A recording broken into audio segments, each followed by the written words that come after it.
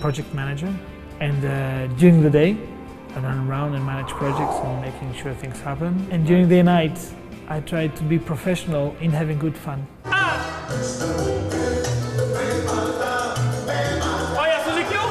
I was doing my master's degree in uh, computer science in Leeds, UK, when I met this nice girl uh, who, well, that's another long story, but we ended up being a couple and we were also dancing and teaching together.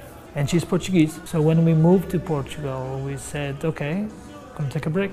Very quickly, we were snatched from the different schools to give them workshops. One thing led to the other, and before we knew it, we suddenly had created the Latin Quarter branch of Portugal.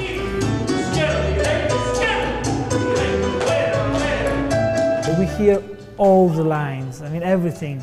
Oh, I have two left feet, I have no rhythm, uh, I can't dance, I can't move my legs, I can't move my body.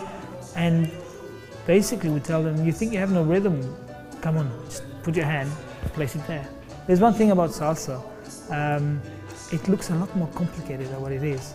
Every time there's a new class starting, and they are all very much amazed by the things that they've seen around. So we start with the basic step and a couple of more steps, and in two or three weeks, their friends see them dancing and they think, wow, this is so complicated, and they don't believe it themselves. They're actually hearing this. We believe that is salsa being a social dance. So now internet is way beyond. I mean, with all these social sites, uh, the whole game has changed. www.latinquarter.eu. In Portuguese, EU is spelled eu, and it means I.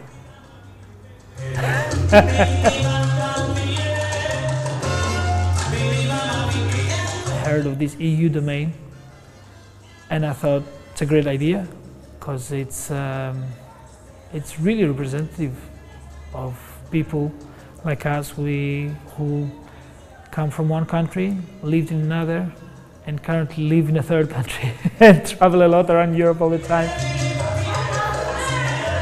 I'm Greek of origin. Um, I lived in UK, in Greece, and in Portugal. Currently living in Portugal, uh, but I'm a well. It was said as a citizen of the world. I think the most accurate term for me would be I'm a European in every way.